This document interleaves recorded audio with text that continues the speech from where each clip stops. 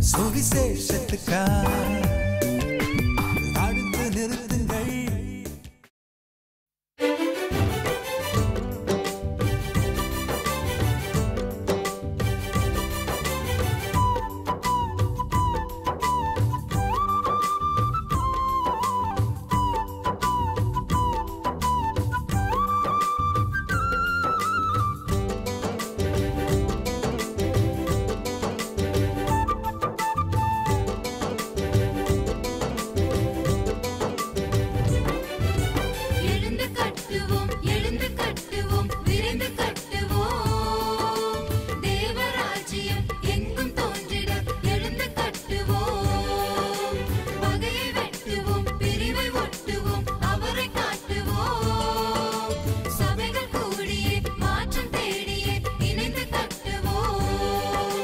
see the.